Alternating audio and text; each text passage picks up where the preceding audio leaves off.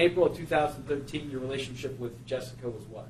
Uh, I, we lived together. She was my girlfriend, also the mother of my child, So the uh, and, and your child was a boy or a girl. a boy. So uh, that boy was your son Correct. and and her son. Correct. Okay.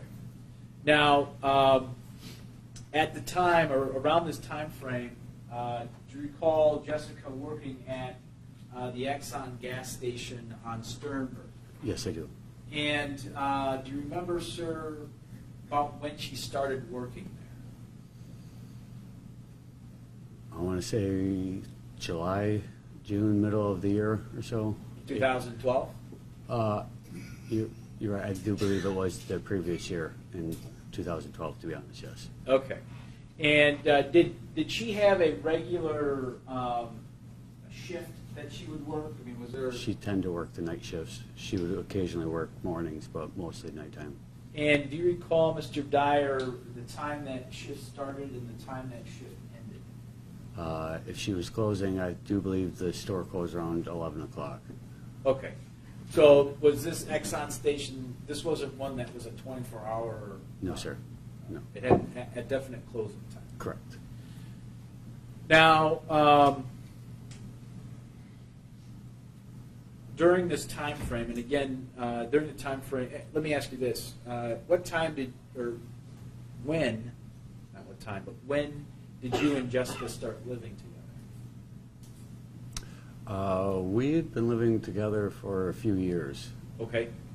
Um, she had stayed with me at a previous house, and then we were in that house for about a year and a half, two years, I want to say. Okay. And uh, did this coincide with the birth of your child, or were you living together prior to that? No, we were not living together prior to that. It was uh, about within the first year of his life that we moved in together. Okay. And in uh, 2013, how old was that young man? Three years. Three. Yep.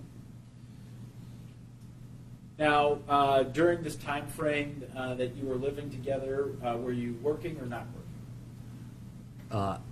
At the time of the incident, I was not working, but I was working previous to that.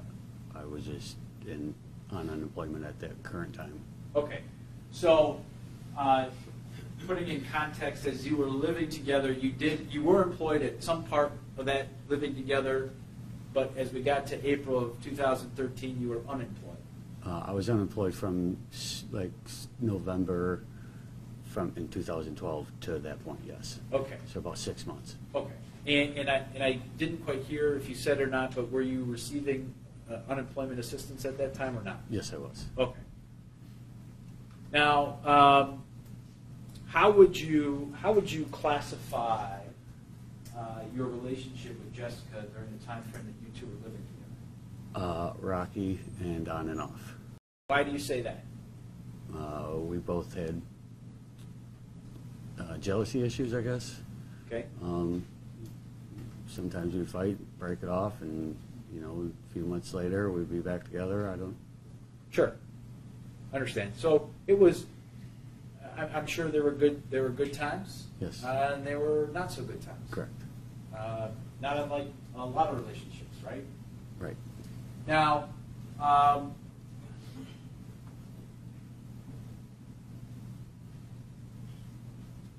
during that time frame, uh, were there issues involving drugs? Uh, yes, we both had drug problems. Okay. And uh, were you protective of Jessica in that area? You understand what I'm asking you? No, not, All right, let me try to ask it a little better. Were there th- were there certain things that you did not want to see her get involved in in the, in the drug world? uh, yeah. Okay, uh, and that's what I meant by being protective of that. Can you can you describe for the jury, you know, how that would make you feel if she got involved in, in, in whatever I can't remember what drug it was. Uh, well, we, I personally took methadone, and so did she, and um, she would use heroin once in a while, and that was really what I tried to stop her from using. I mean, the pills were hard enough, and I just didn't want it to go any further than that, I guess. Okay, how would you be protective of her in that in that regard? We, we fought a lot about it. Uh, there was times where I've flushed things down the toilet and called said person that she was getting it from and threatened them, I guess. Okay? So you're that serious about it? Yeah. I want to I want to focus in on uh, April 26th, 2013. Okay? Yes, sir. It's a Saturday. And uh, do you recall uh, Jessica having to work that particular night? Uh, yes, she worked about two or three o'clock in the afternoon. Went in. Okay? Now, prior to that, just if we could kind of go through your day a little bit, prior to that, did you guys spend any time together? Uh, we went shopping. Um, and then she dropped me off at my parents' house before work. Okay? And was there anybody else with you? Zevyn was with us. And that is that was your son? Yes. And do you recall, sir, about what time uh, that uh, Jessica dropped you guys off at your parents' house? I want to say like 2.30ish. 2, 2.30ish. Okay. Now, um, obviously, Jessica did not stay with you uh, for dinner. Is that correct? No, it was just, she just dropped me off and then she went to work and me and my son stayed there to eat dinner with my family. Okay. Now, could you describe for the jury, sir, uh, the the things that you and Jessica shared, i.e., um, you know, vehicles and whatnot? What what what did you share amongst the two? We shared a Mercury Sable and we also shared a cell phone at the time. Okay, and so uh, on the day, on this particular day, in the afternoon, when she dropped you and your son off, uh, did you keep the car or did she? She took the car, dropped me off at home or at my parents' house, and then I kept the cell phone so I would have it at home just in case anything would happen. Was that your, I'm assuming then you didn't have a landline? No, no, Cell phone was your only way of communication? correct. Um, I want you to take a look at uh, People's Exhibit 81. Can you see that okay? Yes, sir. And uh, can you describe what that is, please? That was the car we shared at the time. Okay, so back in 2013, this was the, this was the vehicle that you and Jessica had in common. Correct. Okay. Mr. Dyer, was it was it common when Jessica went to work at night? Uh, would she wear a hooded sweatshirt?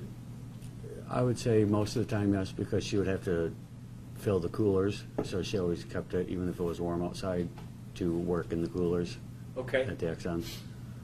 Uh, and was that was that part of like the closing? Were there some duties, some closing duties that were Stocking the shelves, keeping the coolers full, so then people in the morning didn't have to do it, clean Okay. up. It was she.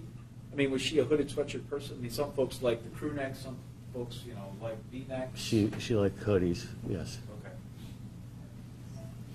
Okay. Um, now, did you, were you able to talk to her uh, on the phone that particular day or that night? I had called her about eight o'clock once I got back to our house, uh, just to let her know I was back. And then, um, I called her around nine thirty, ten o'clock to ask her to bring some milk and a few other things home. And that was the last time I talked to her. Okay. So that kind of answered my, my next couple of questions here. So once at 8 p.m.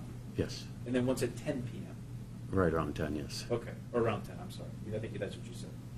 Um, when you when you talked to her at, uh, let's take it one at a time. When you talked to her at 8 o'clock, was there anything uh, in her voice that made you feel uncomfortable or that she seemed troubled or, or worried or anything? No, like her usual sunny disposition. She was, nothing seemed wrong. She was happy.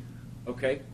Um, did she mention to you anything about being bothered by anyone? Uh, and I'm sticking with the eight o'clock time frame. Being bothered by anyone around eight, that eight o'clock hour? No, sir. Uh, fast forwarding to the conversation you had around ten o'clock that night. Again, I'll ask you the same question. Anything in her voice or demeanor that suggested to you that there was something wrong? No, Uh, it- Did she mention anything about, again, at that point in time, being bothered or, you know, somebody creeping around or anything of that nature? No, sir. Uh, All right.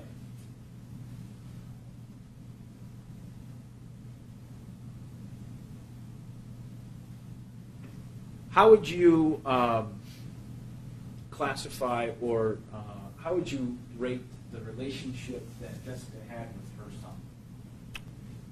a 10, being good. It's a very good relationship. She loved him very much. Was, uh, I mean, obviously you spent more time with her and your son than, than any of us. Um, Did she ever express a desire that she wished she'd never had your son? Not to me, no. Did you ever get the sense that uh, she didn't want anything to do with your son? No.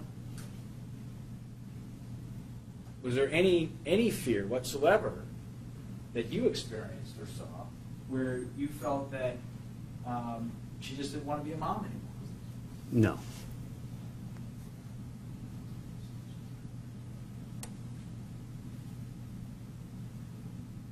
Uh, you feel that she would have, she would just have upped and left, uh, leaving her son behind? Leaving her son behind, no.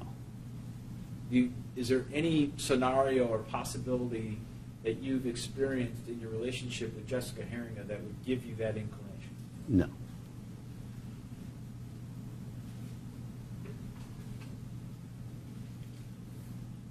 Was she the type of person, or, or do you get the impression that she was the type of person that would just get up and leave and, and not tell anybody anything? No. She's got a family, correct? She's very close, she was very close with her sister and pretty close with her mother. If anybody, I do believe she would have told her sister she was leaving. Okay.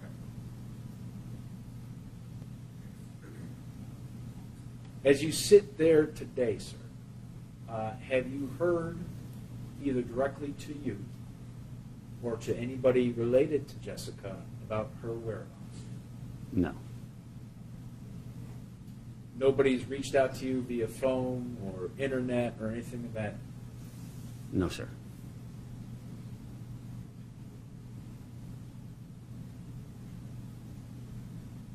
Would it be typical of her to leave, um, well, let me ask you this, even though she was working and you were unemployed at, at the time and receiving assistance, were you guys doing, you know, really well or just getting by? We were getting by. Kind of paycheck to paycheck kind of thing? Yeah. All right. We've got one, one last question for her, and I, and I hate to ask this, but I've got to. Mr. Dyer, did you have anything to do with her disappearance? No, I did not. Are you involved at all in the disappearance of Jessica Heeringa? No, I'm not. All right. Thank you. I have no further questions. Uh, Mr. Dyer, this is a, a very difficult time, uh, an occasion for you, is it not? Uh, yes. Okay. Uh, Mr. Dyer, uh, I, I I promise you, I won't, I may ask some questions that may be painful to you, but I won't ask you anything that I don't absolutely have to know, okay? Okay. Okay. And we'll, we'll go from there. Let's start with, the- with an easy one. You mentioned your son's name, correct? Yes. Would you spell your son's name for, because it's an unusual spelling, correct? Uh, what is, why do I have to spell my son's name? I Because you feel, mentioned it on the record, and, and I just want, because when they type it up, they want to know how to spell it, that's all. Is that okay? it's Z-E-V-Y-N. Okay, thank you. Uh, we don't need to know anything else about it. Okay. All right. Now, this is your son and Jessica's son, correct? Yes. And you have another daughter, is that correct? Correct. All right, and she's older than your son? Yes. Is, it- is this other daughter with Jessica? No. All right.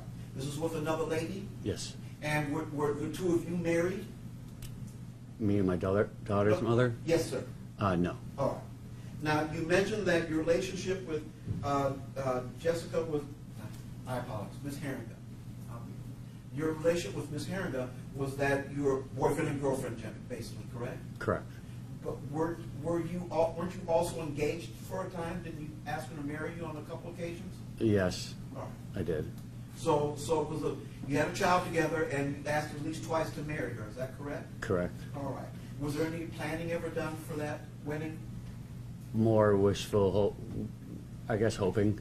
Okay. She, she never really gave me a specific answer. All right. Um, You had uh, some, some, you- you had a relationship where, where the two of you are trying to make a family with your son, correct?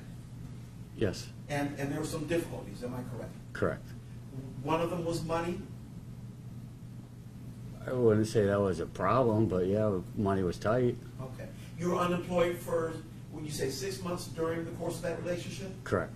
And, and you were receiving unemployment? Correct. And, and was, Was Ms. Heeringa uh, employed during the entire time you were together, or the periods where she wasn't employed? Uh, she was, from the time our son was born, she didn't really work until the last like six, seven months before her disappearance. So that, that made it stressful, I, I assume, given the money situation wise. Yeah, And when she did start working, she worked at a gas station? Correct. Do you know, do you know what her hourly wages were at the gas station? Was I- it minimum wage? I couldn't tell you off the top of my head, no. But it, it wasn't a high-paying job, would you agree? Correct. Right. Um, So, uh, at the time that you last saw her, were you both working at that time? No, Okay. She was working, but you were not yet? correct. All right. All right. Um, And you, you mentioned that, that part of competing for your, for income, I assume, was, was a, a drug situation. I don't, can, can you rephrase that, please? Did you tell Mr. Hilson that you were using methadone? Uh, yes, Did you tell Ms. Hilson that, that Ms. Heeringa was using methadone? yes, Did you tell Ms., Mr. Hilson that uh, Ms. Heeringa also used heroin? correct, Um, And I assume none of that stuff is free? correct. Uh, Were there other drugs involved, cocaine, methamphetamine, alcohol, uh, marijuana, anything else? Marijuana, All right. And, and all that's competing with, for your income, correct? Correct. Marijuana's not free either, correct? correct. And uh, I- I've, I've heard very few individuals tell me that using drugs helps a relationship. That that is, it's causes more friction within the relationship. Did you find that to be the case? Definitely. Okay. Uh, This was, did Ms. Heeringa have a second child? No, This was her first child? correct. How old was she when she had your son? 22, 23? Okay, so, so from, from my point of view, still a young person. Correct. Okay. Um, And I understand that she was close with her sister, Yes, uh, but in terms of family support from, from her side of the family, were, were her mom and sister or grandmother over helping and giving advice and providing counseling and babysitting and all that stuff? her mom would help once in a while. If you're asking if they were at her house on a daily basis, helping take care of her son, no. No, okay. Um, You mentioned that uh, on a scale of one to 10, uh, Ms. Heeringa had a relationship with her son that was a 10. Correct. What would you, how would you characterize your relationship with her mother? My relationship with her mother or No, her? sir, hers. Uh, it was, it was a good relationship also. I would say eight, nine. Okay. They had their rocky moments, but, And there was also, there's also a grandmother involved, correct? uh, yeah. Okay. How would you rate their relationship? Uh, we really, they lived in Grand Rapids, so we only kind of seen them on holidays, but every time we seen them was very loving. Okay. So they had a good relationship with the grandmother as well? Okay. And there's, there are also people who are significant in the home. Your daughter, I would assume, would come to visit? Yes. How would you rate their relationship, Ms. Heeringa and your daughter? It was good. They got along. The number? I would say an eight. Okay. And uh, your former significant other, the, the, the, the- your daughter's mother. I assume that since the daughter's coming over, Ms. Heeringa and your daughter's mother would have contact on occasion? Uh, limited contact, but yes, Okay, and how close were they, would you say? they did not get along. Uh, were there other folks, you, you mentioned the sister has a good relationship, were there other folks uh, that were within the nucleus of that family that you were trying to put together, that were people that were, you were involved in on a regular basis? My family, uh, my mom, dad, brother, sister, um, her family. Um, that's about it. I really kind of just kept to the family. Okay. Tell me about uh, what you know of Ms. Heeringa's, uh, uh, what did she, what did she think of her, her, did she, was she satisfied in her job? Did she get along well at the job as far as you know? As far as I know, yes. Okay. Uh, there, there wasn't a, a point of friction within the job? Um, not to my knowledge. So she wouldn't come home and say, you know, that so-and-so, she's giving me a hard time again today, and, or anything along those lines? Just regular, you know, everybody gets frustrated at work. I mean, just regular daily venting, I guess. Nothing specific stands out. All right. So, uh, thank you. Uh, On the, on the issue of, uh, of the drug use, you, you mentioned that you knew the person who was supplying Jessica, I, I, don't mean to be informal, Ms. Harrington.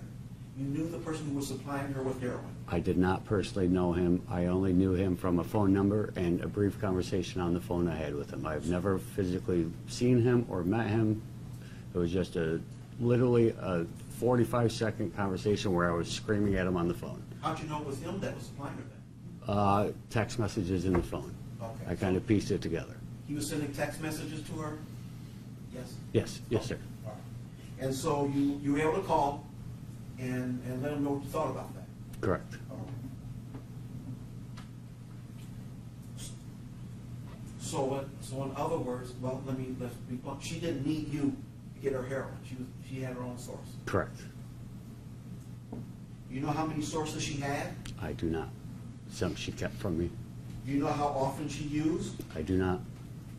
Do you have any, you have any idea what the guy looked like? I assume it was a guy.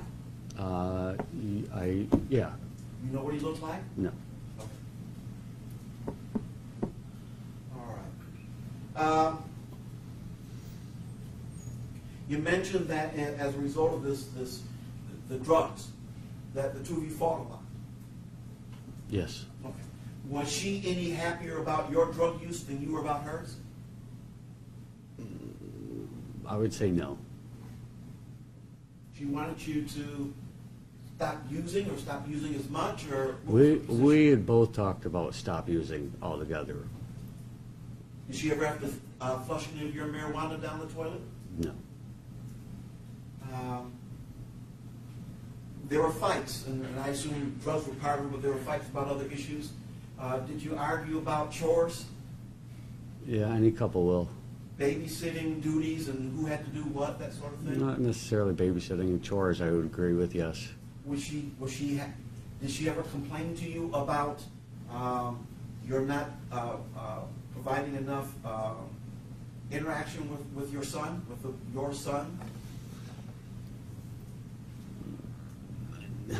Yes, Uh, There was also, you also mentioned there were, uh, that you're off and on. Were there times that you moved out, or that she moved out, or? Before we lived together, it was very off and on. And once we cohabited the house, I would say it was on. There was no choice. We really, either one of us didn't have nowhere to go. Do you, do you, uh, I'm relating back, because I just remembered a question I forgot to ask you.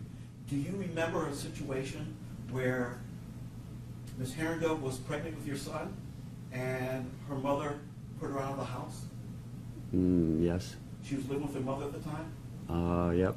Okay, and this is the mom who has eight or nine? Yep. Okay. So, uh, okay. Uh, There's all kinds of fights, uh, ranging from not talking to, to screaming and- beyond. Uh, Do you recall if uh, you and Ms. Heeringa, um, did it ever become physical between the two of you? Uh, one time it did become physical, yes.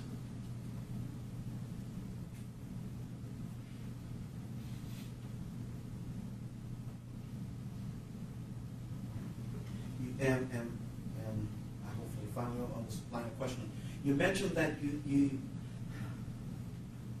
you mentioned that she had a, uh, uh, uh, ten out of ten relationship with your son. Correct. All right. Uh, did she ever mention to you that she thinks your son has your temper? No. Okay. Um, You mentioned, uh, jealousy issues. Correct. to your mind, I mean, were they, were they both ways? She, she questioned your fidelity and you questioned hers? Yes. Uh, In your hearts of heart right now, do you think you are accurate? Do you think there's a reason for you to be upset in terms of her fidelity? Can you clarify? You think it was somebody else? No. You don't think so? I think she was talking to other people. I don't think there was somebody else in a relationship with her, no. Okay. I feel she may have been talking and flirting with people, yes. Okay, so when you say people, you, you mean plural, more than one? I don't have specifics, so I say people. You, you noticed her text messaging though, correct? That's how you found out about the heroin dealer? Uh, yes. Did you notice any text messages that, that led you to believe that there's a problem, well, there's a fidelity issue here? No.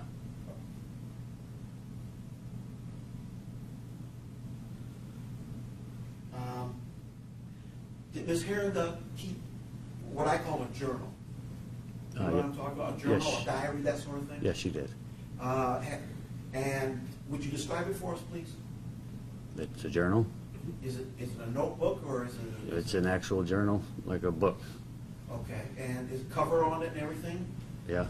And does it say her, my journal or my diary on the front? Not to my knowledge, no. I When think did it you was dis- just a leather binding book. Okay, when did you discover it? I've known about it the whole time she was writing in it. So you saw her writing in this document? Correct. Okay. Uh, Did you, uh, did you ever take the opportunity to look in the document to see uh, what was being said? Not until after she was gone. Okay. After she was gone, did you, you look through the document at least to see what she was saying? I thumbed through it, yes. Are you familiar with uh, Ms. Heeringa's handwriting? Yes. Was there anyone's handwriting in that document other than Ms. Heeringa's? Not to my knowledge, no. All right. So, so are you, when, you know her better than any of us, would- are you convinced that that is in fact her journal? Yes, I am. And, and she was keeping information, she'd write things in there? Yes. Okay. What happened to the journal? Uh, I turned it over to police, and then they did what they needed to do with it, and then they gave it back to me, and I'm not quite sure where it is right now, to be honest. But you did let law enforcement know that you had this document? Correct. All right. Um, Mr. Dwyer, during uh, Mr. Hilson's opening, he mentioned that, that uh, Ms. Heeringa had four hundred dollars cash in her purse. I think that's what he said. I- I may be wrong, but let's assume that is correct for now. Do you know why she had that much money in her purse? Uh, it was, she just cashed a check, and I do believe that was rent money. Okay.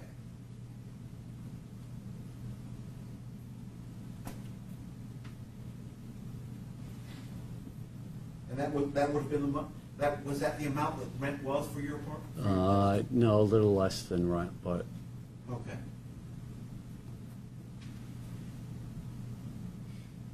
Now, th- this place, I assume you and Ms. Heeringa lived in your own, and your son lived in your own place?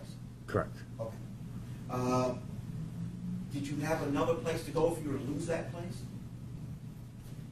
That you could live independently with your son? No. So you would have needed that rent money in order to keep- keep the roof over your head for you and your son, correct? Yes, but I knew the landlord, so there would be times where we didn't have rent money, and they would let us slide by, and, you know what I mean? We worked out, I've known the landlord I was living with for several years, so uh, sometimes rent would not be paid, you know? Would he let you make it up if it was late? Yeah, But in the end, that's what you did in the end, you caught up with it, correct? correct.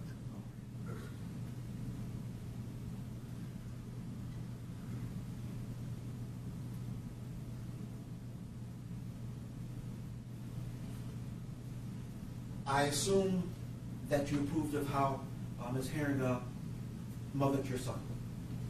Yeah. Was this a, a, a- a difficult experience for her, given that this was her first child? I guess I don't know what you mean. I mean, raising a, a infant, one-year-old, two-year-old, can be frustrating for veteran parents. I mean, you do it three or four times, it's still frustrating. This was her first time. Did you notice if she found any frustrations in doing that? No, You didn't think she was frustrated at all? no. You mentioned your, uh, Ms. Heeringa had her cell phone. Did you, did you know that she had a second cell phone? I learned that in the prelim. Okay, so after, after the fact? right? Correct. Okay. Um, Did you, were you made aware, did, did she say anything about uh, taking money from the store for herself? Stealing? Yes, I did know about that. Okay. What did, you- what did you know? Uh, There was one point where I had confronted her um, after I had talked to whoever was giving her stuff. Um, I- We talked about it and trying to, you know, figure things out, and I was asking her where she was getting money to support her habit. Um, and she said that she was, however she was doing it, taking money from the store to buy her heroin. I have no further questions. Thank you, Mr. Dwyer. I Thank you. it.